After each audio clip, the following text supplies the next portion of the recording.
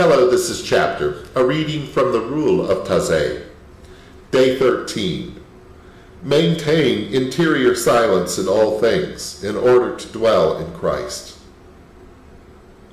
You fear that interior silence may leave within you an unresolved question?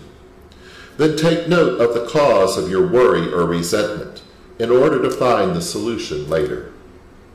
There are moments when the silence of God culminates in his creatures. In the solitude of a retreat, we are renewed by intimate meeting with Christ. These essential moments must therefore be set aside. Quiet is a necessity out of love for the brothers who are praying, reading, writing, or who are resting in the evening. Discretion in speech and in movement have never hindered human contact. Only dumb silence would cause would risk causing this breach. Such silence is not required of us, because it is not in itself conducive to the true spirit of inward silence. Rule says.